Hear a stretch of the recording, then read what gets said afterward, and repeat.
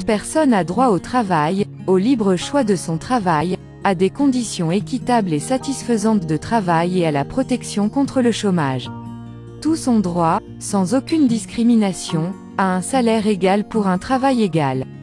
Quiconque travaille a droit à une rémunération équitable et satisfaisante lui assurant ainsi qu'à sa famille une existence conforme à la dignité humaine et complétée, s'il y a lieu, par tous autres moyens de protection sociale. Toute personne a le droit de fonder avec d'autres des syndicats et de s'affilier à des syndicats pour la défense de ses intérêts.